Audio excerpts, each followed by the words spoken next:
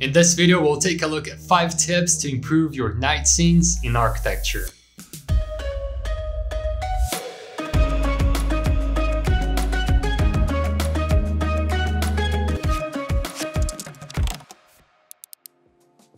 So night scenes can be challenging, especially because they require one step further in terms of rendering settings where you need to take care of lighting. And then in post-production with Photoshop where every asset you add needs to be adjusted and dialed to fit the scene. If done right, can have a huge impact on the viewer, that being a client, professor, or even in a competition. But missing just a few things can totally break the composition. That's why usually daytime renderings are considered a bit easier although it has its challenges too. So in this video, I'll show you the 5 things that I always look after when creating night scenes using this particular image. And I created this image only for this video to test these tips. And since this is a visualization video, I didn't design the cabin from scratch, I found this reference on ArchDaily and gave it a twist to the entrance and interior layout.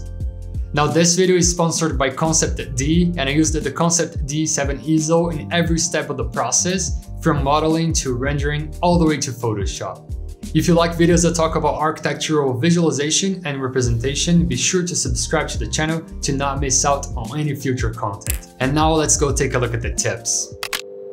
1. Contrast in color. During the night, buildings usually get more transparent. They light up from the inside. It's the opposite of day scenes where usually the windows create so much reflection that they can look like mirrors.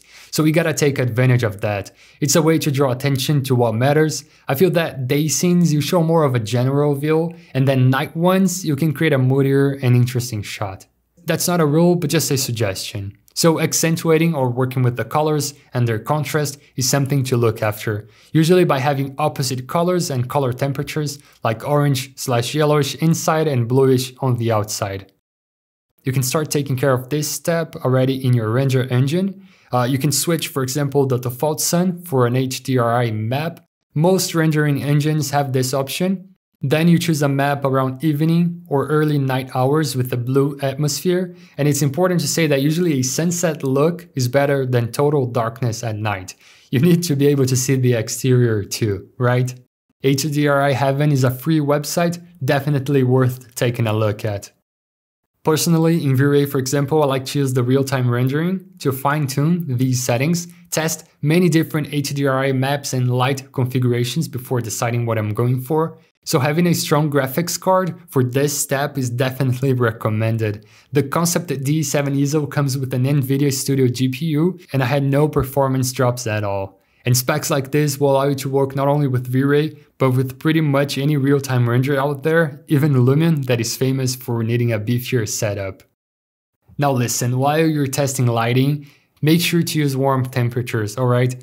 Remember, contrast between yellow-orange and blue and cyan tends to create beautiful looking compositions on night scenes. And this process of contrasting colors actually relates to the second tip, contrast in lighting.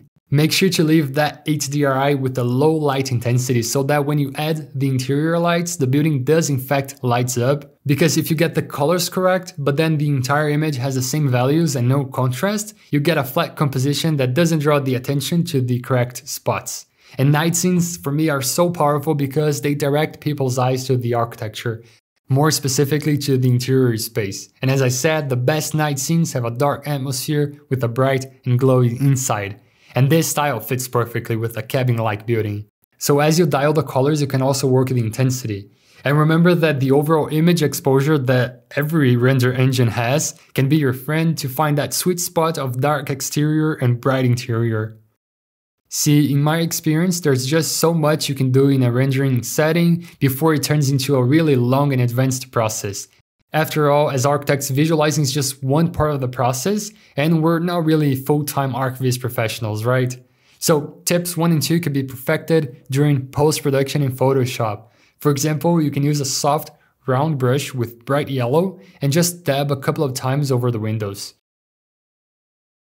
change the blend mode of that layer to overlay, and even create another layer just like this one, but leave it in normal. And that quick and easy move already enhances a lot of that glowy and lit up look.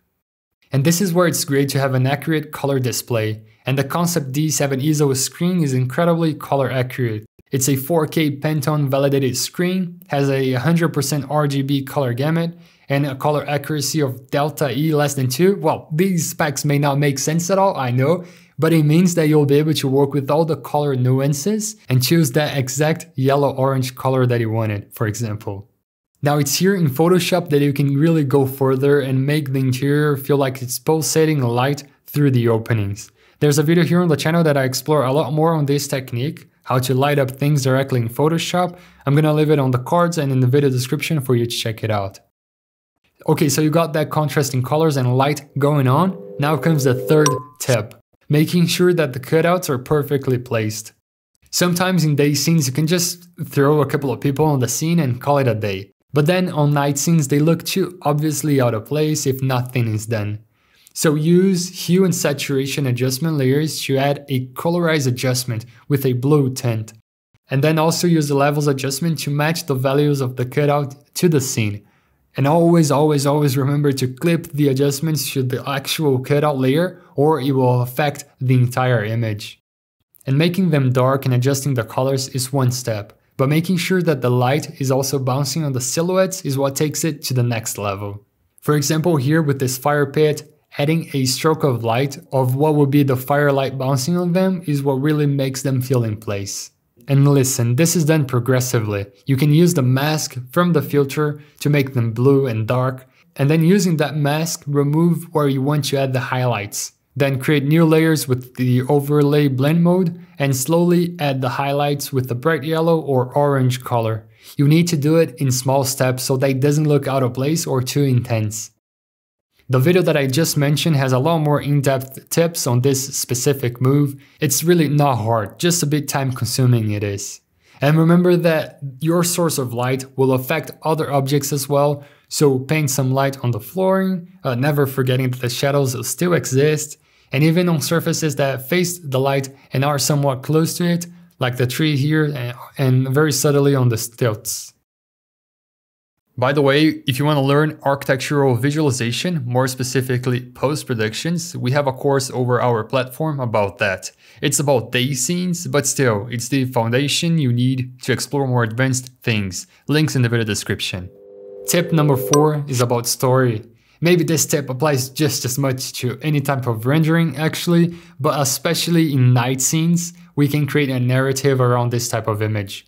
Studying references is a great way to learn and see the different possibilities, and you need to consider your building type here too. Maybe it's a building that has a different user density at night or different use, so just populating to generically add human scale isn't ideal. Imagine just adding like 10 people walking around here wouldn't make sense, right? And personally, my suggestion is to try different activities and, and test some options. Like first here, I wanted to go for a hiker coming back at the end of the day for her cabin, but then this just felt too lonely, and only after I went for the fire pit group. The thing is, a good looking rendering with correct settings is one thing, but framing your image properly and then telling a story is what will set your images apart. Now last but not least, the fifth tip, surroundings. This now is the opposite of the last four ones. Instead of doing it right or taking extra care, uh, the trees or buildings or whatever may be that surrounds your project don't need to be 100% correct.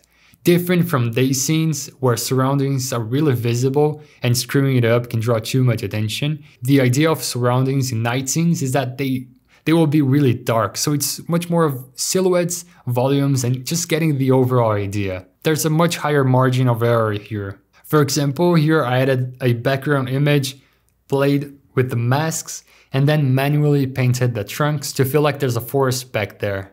And as you imagine, I use the same adjustments to make it dark and bluish. Usually I create uh, the sets of adjustments that I'm going to use and then I just duplicate throughout the file so that everything has the same hue and darkness values, just fine tuning if needed.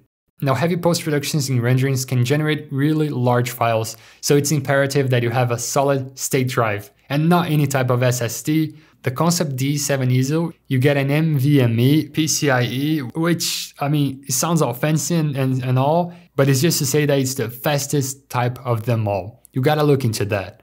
And the connection between the PSD file, which is the Photoshop file, and assets can benefit a lot from this extra speed that the SSD has. From all these tips, in short, uh, if I could sum up how to make night scenes, you basically get a day scene, take out the hard shadows and sunlight, so it would look something like this, which is already pretty good, right? And then you apply a lot of these filters that I mentioned, uh, these color and values adjustments to make it moody and dark. And that's basically it. Then for night scenes I like to finish with a camera raw filter, as always, to punch in some details and refine color hues. And this obviously has no recipe, it really depends on your image and composition. So I usually open the camera raw filter and start sliding all the sliders to see how it affects your image. Then as a very last step, a color balance adjustment can come a long way to finalize the image color palette. Here you can pick the shadows and then make everything more cyan and blue. And then you pick highlights and slide towards red and yellow. It's all about those subtle adjustments and subtle moves that build up to create an outstanding final image. If you try to get this look all at once, it probably won't look good.